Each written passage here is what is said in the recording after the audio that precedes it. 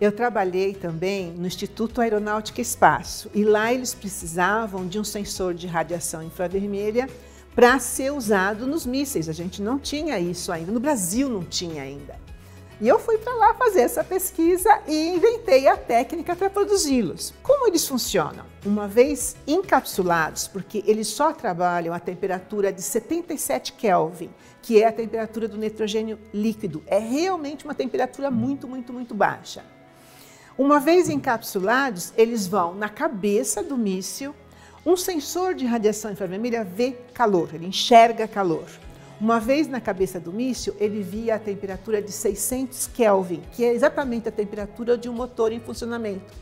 Então, é dessa forma que o míssil vê o avião que ele vai atacar. Aí usaria para defesa. Para defesa.